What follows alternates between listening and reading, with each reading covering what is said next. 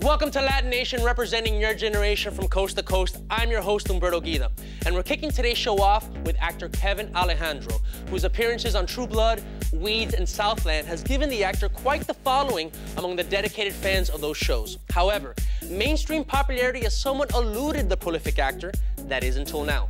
In the CBS New Police drama Golden Boy, Kevin is positioned to catapult from well-like genre actor you kind of recognize to legitimate household name. Now up next, the seasoned actor sits down to tell us how he's handling more mainstream recognition while also continuing to give love back to the fans of the cult hits that launched him. This is Kevin Alejandro. Brought to you by State Farm. For auto, home, life, and banking, get to a better state.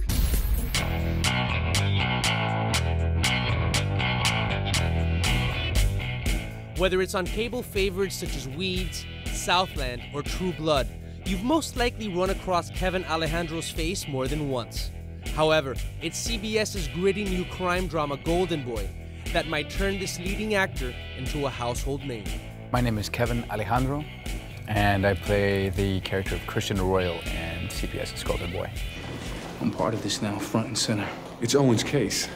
Me and Owen. Sounds like you hooked into a prolific hitman. Promotions are coming up. It's been an especially bad day. If anyone's getting a promotion, it's Owen. No, it's me! My character, he is um, a kid from the streets, and he is the alpha male, the alpha dog, the, you know, number one detective in this particular precinct, 39th precinct. That being said, a young kid comes in played by Theo James. William Walter Clark is his character's name. He reminds Arroyo of himself 10 years earlier and sees the ambition and sees the drive and uh, refuses to let that kid beat him. So you step aside or I will steamroll you. I'll reach into my old bag of tricks and pull out a recording of you stealing money. And you can't have that, not with IA on your ass. I think uh, the reason this genre is so uh, so successful in, in, in the industry and, and in society these days is because crime never ends.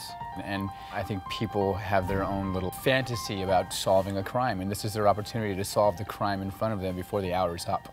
Don's been working the case for 12 years. He's got no career left.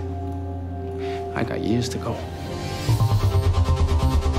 While fans of Golden Boy enjoy piecing together the clues in the show's week to week mysteries, Kevin invests his time away from the crime scene into solving a very real life entertainment mystery how to make it in new media. Hey guys, it's Kevin Alejandro, and I'm here to talk about our web series, The Keepers. We have several friends who have put up their own web series. It was their process that they went through and how much fun they had doing it and how they felt like legitimate filmmakers doing it. It inspired us to want to do the same. It's called The Keepers. It's a dark comedy about uh, these two special agents who are uh, trying to deal with a bunch of villains, supervillains are coming to take over the world. And some of them are real villains with real powers, and some of them are just people posing as villains. The big guys are overworked. They have too many supervillains to contend with, and they need us for all of the little up and comers that are popping out of the woodwork these days. And I happen to be a superhero, so when things get bad, they call me to come in and take care of the villain. How do we contact him? Is it a signal in the sky? It's 2013, boys. He has a cell phone. Contact him if and only if the job becomes too big.